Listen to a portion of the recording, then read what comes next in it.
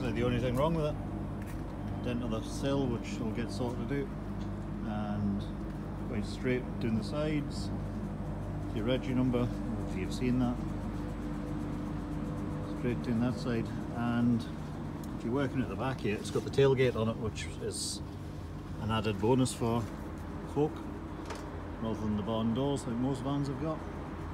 You usually see the uh, ChipsAway vans with tailgates on because they work from the back of the van half, the time.